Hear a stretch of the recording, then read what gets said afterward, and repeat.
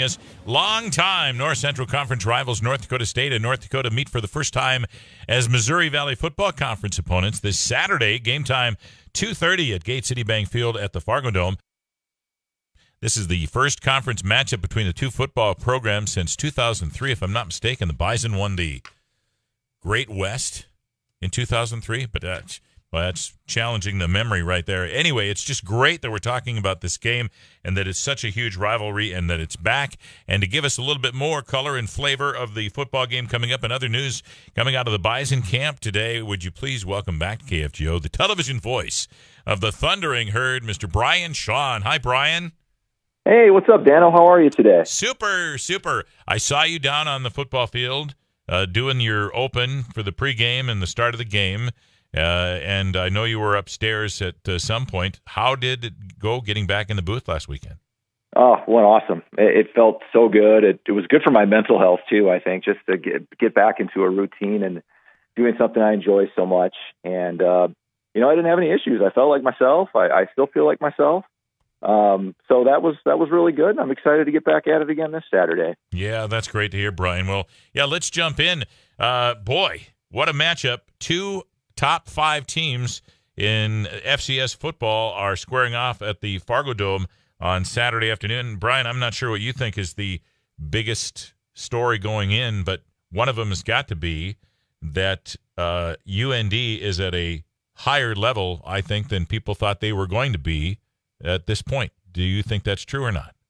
Yeah, yeah, I think so. I, I and quite frankly, you know, I I actually just talked with UND's offensive coordinator Danny Freund this afternoon, and we kind of talked about that, about you know where they're at, and you know he had said they they had a different vibe, a really good positive vibe, and and it was just a solid group. They weren't sure if that was going to translate to the field, but it has.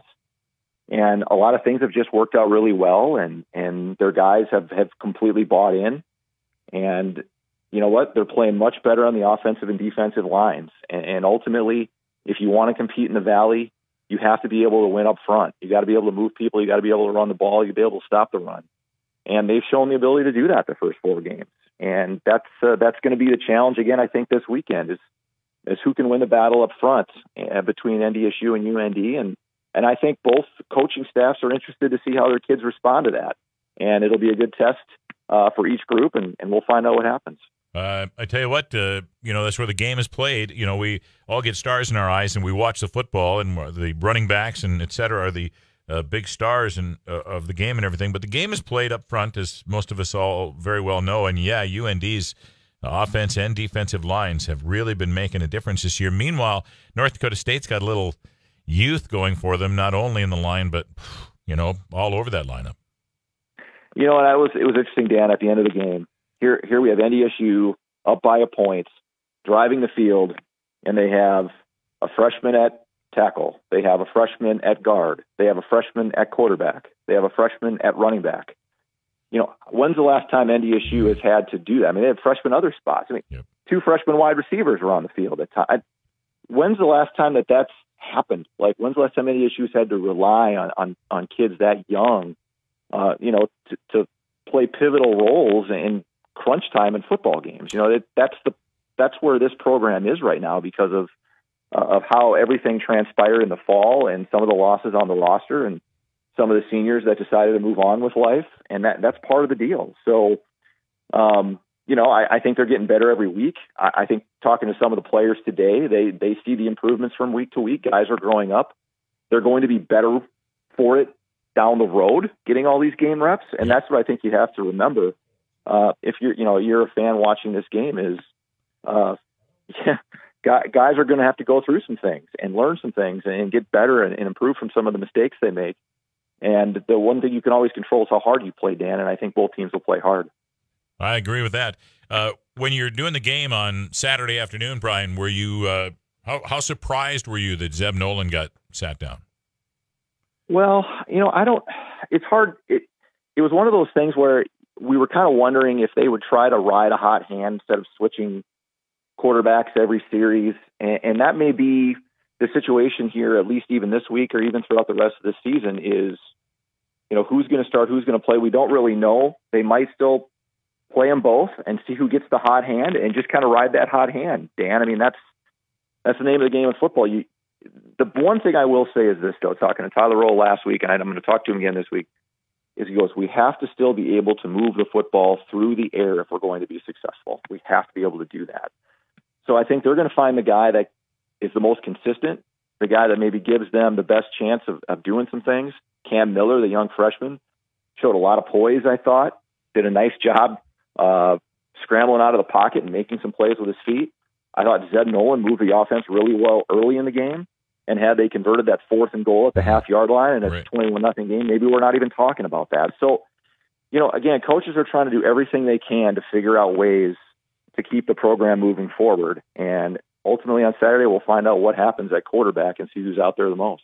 You know, and I, I, I don't know what you think about this, Brian, but I've, I don't think I can remember ever seeing a situation where shuttled quarterbacks on an offense worked uh, at any level. Well, you know, it's interesting you mentioned that, Dan, uh, because Matt Entz brought that up in his press conference. And Joe Bashorner, who was an associate head coach, offensive guy uh, at Mankato, I believe is where he came from, is now the running backs coach at NDSU. And he took Mankato all the way to the national title game when they had dual quarterbacks going mm. in in every other series. So okay. there was one situation where it did work. And norm, I don't think any coach wants to go into a season, any kind of season, especially this weird spring season, and alternate quarterbacks. I mean, that's not ideal, right? You want to get in a rhythm and find a guy and just go. But this is not a normal season. well, no doubt. So I think uh, this, you know, this is something I think NDSU they're just trying to find whoever has the hot hand and the spark to try to keep things moving forward because of all the, the new pieces and all the newness across the board. And you know what? things were already kind of lean uh, when we started the season, but uh, then losing Seth Wilson on the second play uh, of the season, forcing a lot of these other young guys to go into the backfield. Now, now that said, boy, have I been impressed, especially by this uh, uh, Dominic Gonnella. Wow, is he yeah. really? And this guy's a true freshman. The guy's built like Tarzan. Yeah, he is. I mean, he is a thick dude. When I saw him up close on the field, I was like, wow, it just it blows you away. And there's a reason why he was like, he, you know, he's he's got a, a professional baseball future potentially down the road too. He's a draft pick of the Colorado Rockies. I don't know if a lot of people know that. Right. But his dad played D1 baseball. His brother played D1 baseball. Um, he's a really good baseball player on top of it, on top of being a really good football player. And that was part of the reason he chose NDSU is they were going to allow him to still do some baseball stuff in the summer. Uh, you know, and, and look at that. Um, he wants to play college football for four or five years, and then to move on to that level of his life, and he didn't want to pick one sport or the other. And you can see why NDSU was willing to let the kid do sure. it because he, he works really hard. yeah, he fits in, and you can you can see what he does on the field. It's awfully impressive for a kid that's 18 years old. You watch uh, this weekend when you watch the game. Uh, he wears number 29. His name is Dominic Gonnella, and he's really something extraordinary. On the other side of that football, Tommy Schuster has been named the Missouri Valley Football Conference Offensive Player of the Week. He's the quarterback for the UND Fighting Hawks. Boy, he looked great on Saturday. He did. I, you know, he's getting more and more comfortable. And you know, when you look at him, he's six foot, 190 pounds. You don't, you know, he's not the big. He doesn't stand out as one of those prototypical quarterbacks that you would see in the backfield.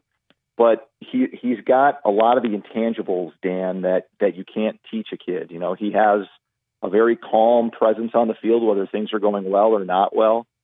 And I think as a coach, he just he feels pressure. He knows when to get out of danger. He knows when to throw the ball away. And you know, and Matt Entz said it too. They're putting him in, in in these positions to be successful. If you can run the ball and run a lot of play action, roll him out of the pocket, get him to spots on the field where he can make the throws uh, that he's comfortable with, then you know a lot of things can go well. And and confidence is such a big part of it. And he's playing confident. He should be. He's completing seventy percent of his passes. They've been very efficient offensively. He hasn't forced anything. Uh, taken pretty good care of the football, and I think that's that's going to be the biggest thing I think for North Dakota offensively here on Saturday is taking care of the football, not giving any NDSU short fields to work from, and then you know establishing the line of scrimmage and trying to move it. And Tommy's got four years or three more years to play. He's only a redshirt freshman, so uh, he's going to be quarterbacking uh, the uh, Fighting Hawks for some time. So kickoff is 2.30 on Saturday afternoon, and KVOY will have the television coverage. Uh, Brian Shawn back in the saddle. Uh, that's coming up Saturday afternoon, 2.30 from the Fargo Dome. Uh, two top five teams in FCS football squaring off.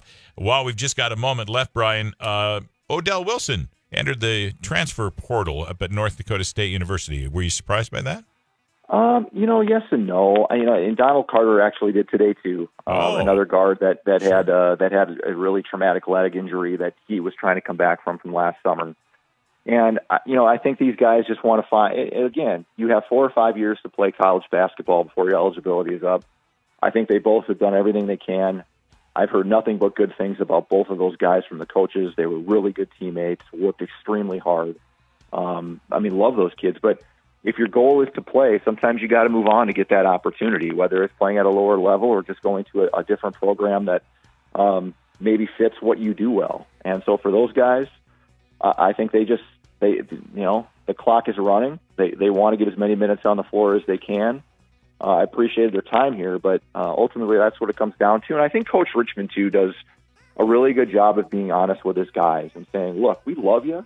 We love having you be part of this. We love our culture here, and we love having you be a part of that. But if you want to play, you know, somewhere else may be better for you. And look, you know, you appreciate the honesty, and if the guys want to stay and, and play their role, I think they're happy to have them. If they don't, um, you know, they can maybe find a different opportunity somewhere they can get that. Well said. Brian Shawn, so glad you're feeling good, Brian. That is just great news. Uh, Yeah, it is, man. I'm I'm excited about it. Absolutely. I bet, bet Jess is happy about that too. Uh, Brian, thanks so very much. I hope I get a chance to see. you. I'm trying to keep my distance from you. You know, I don't want to give you any germs or anything like that, but I hope I'll at least get a chance to wave at you from up in, up top of the Fargo Dome on Saturday.